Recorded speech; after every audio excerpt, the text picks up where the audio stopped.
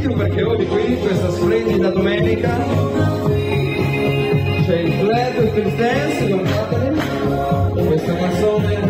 l'abbiamo riproposta varie volte in questo anno, di feste, il venerdì sera,